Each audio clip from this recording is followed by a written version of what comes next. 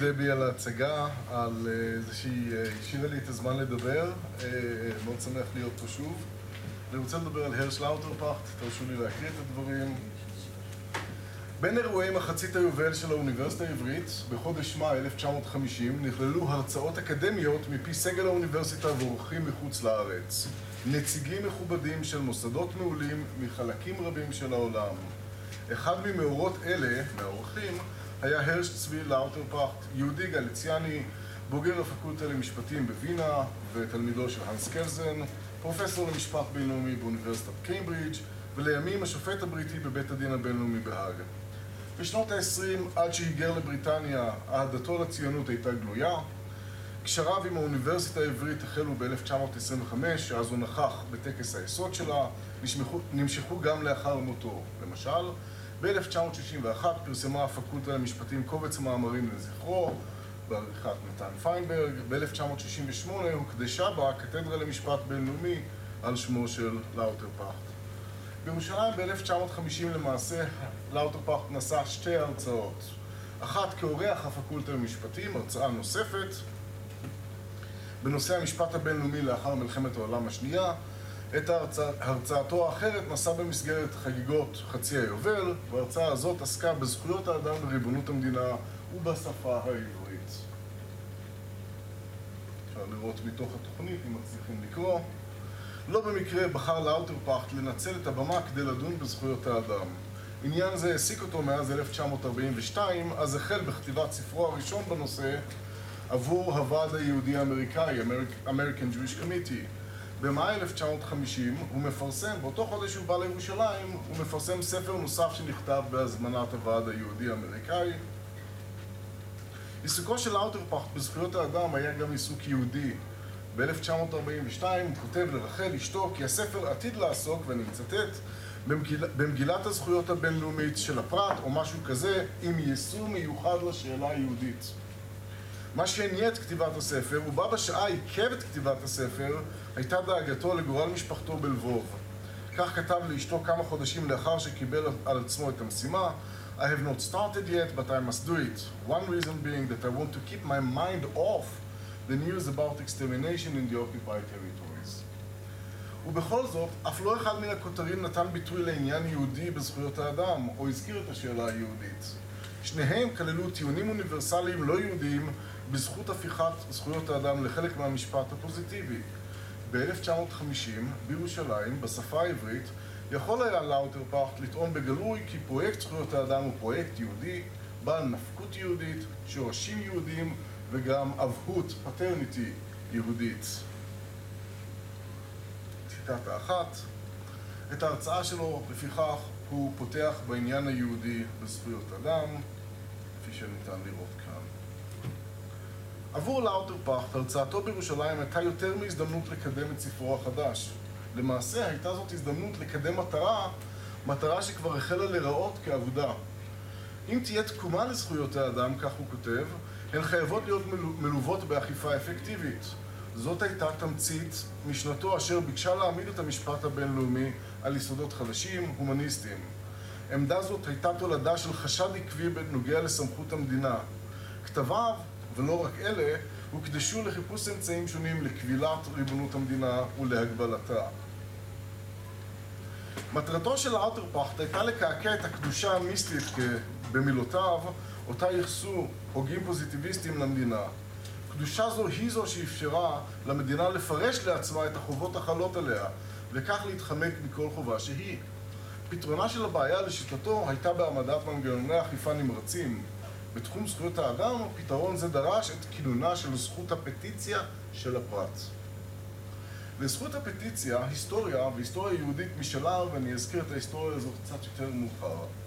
בשלב זה, לענייננו, די שאזכיר כי היא נדונה בסוף שנות ה-40 באומות המאוחדות, במהלך, בהקשר של ניסוח ההכרזה האוניברסלית של זכויות האדם, ושוב, בשלבים הראשונים של הכנת מגילות, מגילת זכויות האדם, החל משנת 1949. ביסודה של הזכות עמדה זכאותם של פרטים ושל ארגונים מייצגים להביא את טרוניותיהם בדבר הפרות של זכויות אדם בפני גופי האו"ם. מנקודת מבט יהודית, הזכות המוצעת נגעה במישרין בסוגיות פוליטיות ואידיאולוגיות מרכזיות. קול, סוכנות, עמידה, ייצוג. כל אלה שאלו מי מדבר בשם היהודים? למי הכושר המשפטי והפוליטי להציג באופן רשמי קייס יהודי בפני הארגון העולמי האומות המאוחדות? התשובות השונות לשאלות אלה היו תלויות בהכרח בשאלות של מעמד משפטי ופוליטי. מה היה או מה היה צריך להיות המעמד המשפטי והפוליטי של יהודים. והתשובה לשאלת המעמד הייתה תלויה בהכרח באידיאולוגיה. האם מחזיקים היהודים בזכויות פרטיות או בזכויות קיבוציות? האם הם אוסף של פרטים או קיבוץ, ואם הם קיבוץ, איזה קיבוץ הם? דתי, אתני, גזעי, לאומי. הדיונים בזכות הפטיציה בארגון האו"ם סיפקו לארגונים יהודיים במה והזדמנות להתכתש בסוגיות האלה בניו יורק ובז'נבה. דוגמה קצרה, חגיגות חצי היובל של האוניברסיטה העברית בירושלים סיפקו גם הן במה להתנגשות אידיאולוגית כזאת. באביב 1950, לאוטרפארט כבר היה מודע לכך שפרויקט זכויות האדם עלה, להשקפתו, לשיטתו, על סרטון. ההכרזה האוניברסלית אותה אימץ האו"ם בדצמבר 1948 חסרה הן תוקף משפטי מחייב והן אמצעי אכיפה. ביקורתו על מסמך זה היא מן המפורסמות. עוד לפני כן, מועצת זכויות האדם של הארגון נקטה בעמדה כי אין לה כלל סמכות לנקוט באף פעולה בקשר לכל תלונה בנושא זכויות אדם. בקיצור, כי אין לה סמכות מובנית במגילה, במגילת האו"ם, לעסוק בפטיציות. בפברואר 1947 המועצה הכלכלית-חברתית של האו"ם מאמצת את הפרשנות הזאת, מאשרת את הפרשנות הזאת. הביקורת של לאוטרפארט הייתה כה חריפה עד כדי כך שהוא הציע לוועד היהודי-אמריקאי שלא לפרסם את ספרו על מנת שלא לפגוע בעבודת הוועד וביחסיו עם מזכירות האו"ם. הספר בכל זאת פורסם והוא כולל גינוי חמור מאוד של התפרקות מאחריות, מסמכות, מחובות מצד גופי, גופי האו"ם. עמדתם של גופי האו"ם, כך לאוטרפארט כותב, שללה את הזכות האפקטיבית לפטיציה שהייתה תבואה לשיטתו במגילת האו"ם. את הרצאתו בירושלים הוא בוחר לכן להקדיש לשאלת הזכות האפקטיבית לפטיציה הבינלאומית. לא אשחזר כאן את מהלך דבריו של לאוטרפארט ואת תוכנם. תחת זאת אבקש להציג שלושה מהלכים רטוריים בהם הוא נוקט. כל שלושת המהלכים הדגישו את ההיבט היהודי של זכות הפטיציה. כל השלושה נגעו בשאלות של קול יהודי, סוכנות יהודית, זכות עמידה יהודית וייצוג יהודי. כל אחד מהם ביקש להניע את שומעיו של האוטרפארט לפעולה, וכל אחד מהם נכשל. כישלון זה, אטען, מלמד על אי יכולתו של האוטרפארט לקרוא את רגישויותיו של קהלו, או לזהות עד כמה שונה היה האופן בו קראו שומעיו את זכות הפטיציה הפרטית. כישלון זה גם מצביע, וזאת טענה מרכזית שלי כאן, על מקומו השולי של לאוטרפארט בזירה הפוליטית והאידיאולוגית היהודית. המהלך הרטורי הראשון בו, בו נוקט לאוטרפארט בהרצאה הייתה הבעת הוקרה למארח שלו. בשלב מוקדם של ההרצאה, לאוטרפארט נותן קרדיט למאמצים אינדיבידואליים של משפטנים יהודיים בקידום עניין זכויות האדם. כאן הוא מזכיר בשמו את רנה קסן, ממנסחי ההכרזה האוניברסלית. אבל גם את דיקן הפקולטה למשפטים באוניברסיטה העברית, נתן פיינברג. לאוטרפאכט שיבח את ההרצאות שנשא פיינברג בשנת 1932 במסגרת האקדמיה למשפט בינלאומי בהאג, בנושא זכות הפטיציה והמשפט הבינלאומי. מהלך זה מאפשר ללאוטרפאכט להכריז כי גם הרצאתו שלו תוקדש לנושא, לנושא זכות הפטיציה. אבל הוא גם מזכיר, משתמש בזה כדי להזכיר לפיינברג כי זכות הפטיציה היא עניין יהודי, עניין שפיינברג עצמו גילה מחויבות אליו. בשנת 1933, שנה אחרי ההרצאות בהאג, כשהוא עדיין מתגורר בז'נבה, נתבקש פיינברג לתאם את פעולות ועד המשלחות היהודיות בעניין הפטיציה של ברנהיים. תלונה יהודית נגד גרמניה הנאצית בפני מוסדות חבר הלאומים. לאוטרפארט למעשה ב-1950 קורא לפיינברג לזכור לזכות הפטיציה חסד נעורים. ופיינברג כותב על עניין הפטיציה של ברנהיים שוב ושוב ושוב אה, במהלך חייו המקצועיים. ויש כאן אירוניה. האירוניה היא כי פיינברג סלד כל חייו מן הנסיבות המדיניות והמשפטיות שמכריחות את ועד המשלחות לנקוט במהלך של פטיציה אינדיבידואלית למועצת חבר הלאומים. הוא גם נותר טינה לפרנץ ברנהיים, פליט יהודי משלזיה העילית, שנסיבות תלונתו עשו אותו האדם המתאים לצרף את שמו לעתירה שפיינברג וחבריו בוועד כבר כתבו מראש. בכתביו, בהרצאותיו, בזיכרונותיו, עתיד היה פיינברג לחזור ולהדגיש כי למעט מרגוליס, נציג ועד המשלחות בצ'כוסלובקיה, אף לא אחד מצירי הוועד פגש מעולם את ברנהיים. תינתו לברנהיים נבעה מהיותו של זה בן בלי שם, חסר כל מעמד או תפקיד בתנועה הלאומית היהודית. תחת פטיציה פרטית, על ידי איש שהוא חסר שם, חסר מעמד, העדיף פיינברג פעולה פוליטית מחושבת ומתכננת היטב והתערבות רשמית, קרי, הופעה בפני חבר הלאומים לא באמצעות עותר פרטי, אלא באמצעות גוף מייצג, ציבורי ולאומי, כדוגמת ועד המשלחות. למעשה, העתירה הפרטית בעיניו רק הדגישה את המעמד המשפטי והמדיני הפגום, החסר, המפוצל של ועד המשלחות ושל כלל העם היהודי. לאוטרפאכט בהרצאתו בירושלים לא ידע על טינתו של פיינברג כלפי העניין של כל יהודי, ייצוג יהודי פרטי, או שהיה נואש מספיק כדי להתעלם מכך. המהלך השני של לאוטרפאכט הייתה קריאה, קריאה למדינות. דבריו בזכות, ההכרה בזכות הפטיציה האינדיבידואלית נחתמו בקריאה לכל המדינות להקריב מעט מהיבטיה, הן סובסטנטיביים והן פורמליים, של ריבונותן. על מנת שזכויות, סליחה, שמגילת זכויות האדם לא תהיה מחווה ריקה. כפי שנראה, קריאה זו למעשה כוונה כלפי מדינת ישראל. לאוטרפח דחק במדינה היהודית, באליט השלטונית והמדעית שנכחה בהרצאתו, לנקוט בעמדה חיובית כלפי זכות הפטיציה האינדיבידואלית. Some sacrifice of sovereignty, כך הוא קורא לזה. גם כאן לא ידע לאוטרפאכט לקרוא את רגישויותיו של קהל שומעיו. קריאתו באה בזמן הלא נכון ובמקום הלא נכון.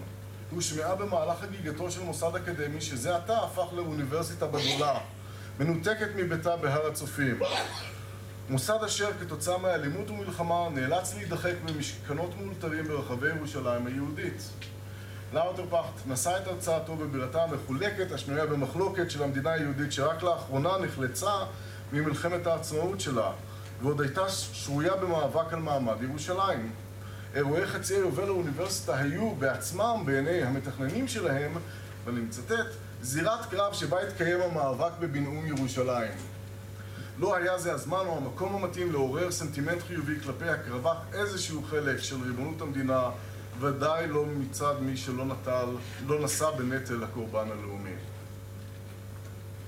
מהלכו השלישי של האוטרפאכט היה כרוך בחזונו לחברה עולמית צודקת ובהשקפתו באשר למקומה של המדינה היהודית בהגשמת חזון זה. בראשית הרצאתו הכיר לאוטרפאכט בתרומתם של ארגונים יהודיים לנושא זכויות האדם מאז ועידת השלום של 1919. לקראת סוף דבריו רמז כי תפקיד זה נפל עכשיו לפתחה של המדינה היהודית. המשפט האחרון של הרצאתו, בו הוא פורס את חזונו לחברה באשר למקומה של ההגנה על זכויות אדם בכינון חברה בינלאומית צודקת, המשפט הזה מקצה למדינה היהודית ייעוד אוניברסלי. כאן קורא לאוטרפאכט למדינת ישראל לתרום, לתרום את חלקה הראוי והמיועד, contribute its proper and appointed share, על, לאותו חזון, על ידי כך שתתמוך בזכות הפטיציה של הפרט האינדיבידואלית. קריאה זו למעשה כוונה לשבתאי רוזן, יועצו המשפטי של משרד החוץ. לאחר ההרצאה, שבתאי רוזן מלווה את לאוטרפאכט ואת רעייתו בסיור ברחבי הארץ. מההתכתבויות המאוחרות ביותר ביניהם התברר כי רוזן הלין על תוכן דבריו של לאוטרפאכט כמו גם על הבמה ממנה הושמעו. לאחר שלאוטרפאכט עוזב את הארץ, רוזן כותב, לאחד מעמיתיו על העמדה הרדיקלית של לאוטרפאכט בשאלת הפטיציה האינדיבידואלית. רוזן גם מדווח כי לאוטרפאכט הביע בהרצאתו עמדה כה חמורה כלפי גישתנו לבעיה זו. מאוחר יותר, יותר כותב לאוטרפאכט לרוזן ועונה על ההשגות שלו. הוא עומד על דעתו כי דרך זו של תוכחה, that method of reproach, הייתה נחוצה. הרצאתו של לאוטרפאכט נועדה בעצם להעביר שבט ביקורת פומבית, אך מרומזת, על רוזן ועל המדיניות הישראלית. מה הביא את לאוטרפאכט להשבית שמחה ולהעמיד את רוזן במבוכה? בסוף 1949 הגיבה ישראל לשאלון בעניין צעדי יישום של זכויות אדם ששולח מזכ"ל האו"ם לממשלות חברות בארגון. תשובתה של ישראל הפגינה מידה לא מבוטלת של רגישות ריבונית לה ניתן היה לצפות מכל מדינה חדשה. בפרט ישראל התנגדה להענקת זכות פטיציה ליחידים. זכות העמידה, כך כתבו נציגיה, לא תכלול יחידים. במכלול הדברים, לעמדתה של ישראל היה משקל זעום עד אפסי. היא לא הייתה חברה במועצת זכויות האדם, גם לא במועצה הכלכלית-חברתית של האו"ם. בריטניה, ארה"ב וברית המועצות דחו כל ניסיון לכלול במגילת זכויות האדם כל אמצעי אכיפה משמעותי ובמיוחד התנגדו לזכות הפטיציה של יחידים. עמדת ישראל עם זאת פגעה במאמציהם של ארגונים יהודיים שפעלו להכרה בזכות זו ובמיוחד במאמצי הקונגרס היהודי העולמי, יורשו של ועד המשלחות. לאוטרפאכט כתב לרוזן כי הוא היה מעדיף כי גישת ישראל תהיה מתיישבת יותר עם אידיאלים יהודיים ועם הניסיון היהודי. את השגותיו שלו פורס רוזן במכתב ארוך ללאוטרפאכט, מקוצר הזמן אציין בקצרה מבחר פנינים. ראשית, מכתבו של רוזן היה בלתי אופייני בעליל. קשריו של רוזן עם לאוטרפאכט התחילו עוד בימי לונדון של רוזן, לפני שהוא עולה לארץ בסוף 1947. הוא רואה בלאוטרפאכט כל חייו, לפחות מציין את לאוטרפאכט כמורה, כמדריך. יש לו עשרות רבות של מכתבים ללאוטרפאכט וכולם מתאפיינים ביראת כבוד, בדפרנס כלפי המורה. המכתב הזה כולל התרסה חריפה, בוטה מאוד, כפי שמיד נראה. עניין שני, הוא... אני בעמוד הלפני האחרון, וחצי. עניין שני, רוזן כותב ללאוטרפאכט כי לישראל יש אינטרסים משלה, כי היא לא תיתן משקל יתר לעמדת קהילות הגולה. כאן הוא כורך ריאל פוליטיק עם עיקרון שלילת הגולה. שלישית, רוזן מכריז כי עמדתו של לאוטרפאכט בזכות זכות הפטיציה האינדיבידואלית נותנת ביטוי לתפיסה הלא ציונית הקיצונית האפוליטית של חיי הציבור היהודיים ושל המקום היהודי בזירה הלאומית, הבינלאומית. למעשה הוא מטיל ספק בנאמנותו של לאוטרפאכט לעניין הציוני ומאשים אותו בחבירה עם גורמים אנטי-ציוניים כגון הוועד היהודי האמריקאי. בעיני רוזנה, בהכרה במעמד יהודי אינדיבידואלי נופל גם אידיאולוגי, זכות עמידה ליחיד היהודי לא עולה בקנה אחד עם זכות עמידה פומבית, קולקטיבית, לאומית, לעם היהודי. זכות עמידה ליחיד גם מייתרת את הצורך במדינה יהודית כערובה יחידה להגנה על זכויות היהודים. רביעית, רוזן קורא תיגר על זכות העמידה של לאוטרפאכט עצמו, על כושרו לקבוע באופן מוסמך ומורשה מה היו האידיאלים היהודיים ומה לימד הניסיון היהודי. או לייצג אינטרס יהודי כלשהו. היו אלה עניינים, כך הוא כותב ללאוטרפאכט, בהם רק הממשלה תוכל להיות לשופט. רק הממשלה, כלומר רק נציגי הממונים המורשים המוסמכים, כדוגמת רוזן, ולא נציגי הלא מוסמכים, הלא ממונים, הלא מורשים של הגולה כלאוטרפאכט עצמו. הפגם בביקורתו של לאוטרפאכט היה לא רק תוכן או במה, אלא גם מעמדו הלקוי של הדובר. אידיאולוגית היה מקום לכל יהודי יחיד בזירה הבינלאומית וכל זה שייך היה למדינה היהודית. אני מסיים עוד רגע. בשנים האחרונות החלו חוקרים לתת דעתם ליהדותו של הרש, לאוטרפאכט ולהשקפתו הציונית. שאלה מרכזית שעלתה במחקר מיישבת, מבקשת ליישב בין קוסמופוליטיות ליברלית של מי שביקש להגביל את ריבונות המדינה לבין אידיאולוגיה לאומית פרטיקולרית.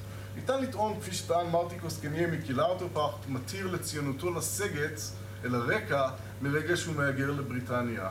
עם זאת, החומר הארכיוני מבהיר כי לאוטרפאכט המשיך לראות את עצמו ציוני והמשיך לסייע לעניין הציוני כל חייו, גם אם בסתר. ניתן לטעון, כפי שיורם שחר חברנו טען, יחד עם אליאב לייבליך, כי ציונותו של לאוטרפאכט מזה ומחויבותו הקוסמופוליטית מזה סתרו זו את זו. כי תרומתו למפעל הציוני, למשל טיוטת הכרזת העצמאות של מדינת ישראל שחיבר, פגמה במורשתו הקוסמופוליטית, ולכן הוצנעה בידי מוקירי זכרו.